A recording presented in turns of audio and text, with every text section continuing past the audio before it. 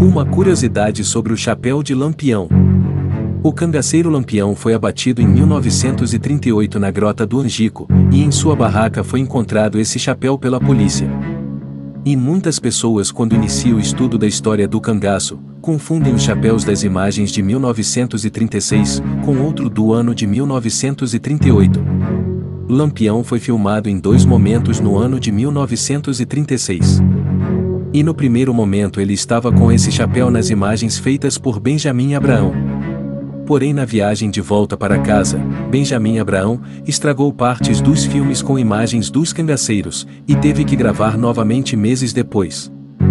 No segundo momento, Lampião aparece com outro chapéu sem as estrelas de couro na aba.